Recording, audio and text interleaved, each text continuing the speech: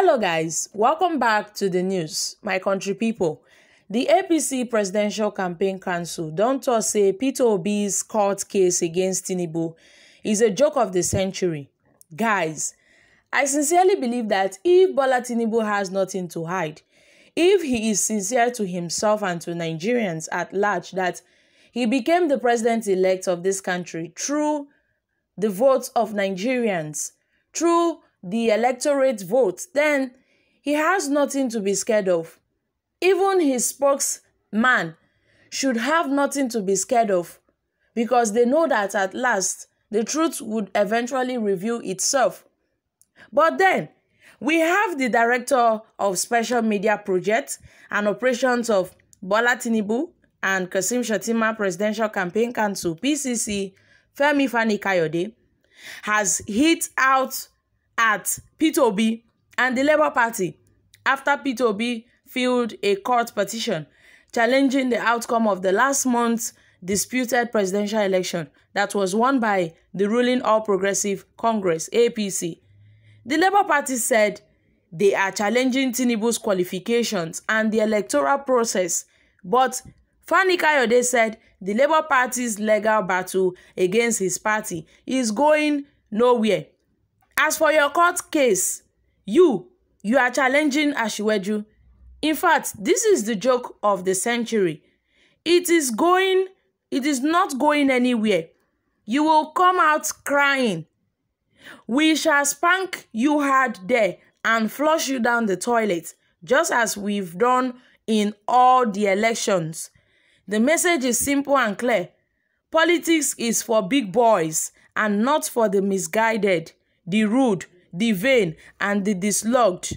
The former aviation minister wrote on his verified Twitter handle on Wednesday night, guys, this is coming from no other person than Femi Fani Kayode, the campaign spokesman of uh, Bola Tinubu and Kasim Shatima. This is really serious. So, in don't say, come, Opitobi, let me tell you, Your court case is going nowhere. In fact, this is the greatest joke of all century. You are coming out claiming you are dragging Tinubu to court. Meanwhile, you know within yourself that your case is not going anywhere. This is how we've been doing the elections and nothing will change it. This is the joke of the century. And last, last, you will come out crying. Femi Fani Kayode tells P2B and even the obedient Fani Kayode mocked Peter Obi, mocked the Labour Party for their inability to even win any state in the governorship elections. He said, ooh, shame on you, shame on you. Look at you. You call yourself Labour Party. You call yourself Obi followers. Meanwhile, you've not even won any state. You couldn't win any state in these governorship elections. And yet you feel that you can wake up one morning and file a petition against my principle you feel you can wake up one morning and drag uh, Bola Tinubu to court. See, let me tell you, leave politics alone. Politics is for big boys and not for small boys like you. He referred to Peter Obi as a small boy. He said, leave politics alone. The big boys are the likes of uh, Jagaban, the Jagaban of Lagos. He knows politics more than you. Peter Obi, all this charade that you are going around displaying is just a waste of time.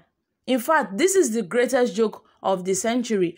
And you know within yourself that you will be defeated. Yes, you will be defeated because this court case is not going anywhere. Guys, this Femi Kayode is really trying to tell us something. Oh, let's look deeply into the meaning of this his statement of this statement he has just made because what he has said is Peter Obi's case is not going anywhere. So does that mean that the court has been compromised already by the APC? Is that what Fani Kayode is trying to tell us? That the court and the judicial system has already been compromised by the ruling All Progressive Congress. So all Peter Obi's court petitions that he has been filing against Tinubu, is that what is he trying to tell us that all has been in vain? Is that what he, he, he's, he, he's trying to tell us? That uh, look at uh, Peter Obi, who lost the presidential election, who even came out third position. Yet, he insisted that he won the election. Come, see, let me tell you. It's best you just drop this your case. Because there's nothing, nothing will happen. Yes, you that have not been able to win any state in the governorship election, but yet you come out and you feel that you can defeat my principle. You feel you can challenge Bola Ahmed Tinubu in court. This is the joke of the century. Guys, I sincerely believe that Femi Fani-Kayode should drop his statement because it is not leading us anywhere at all.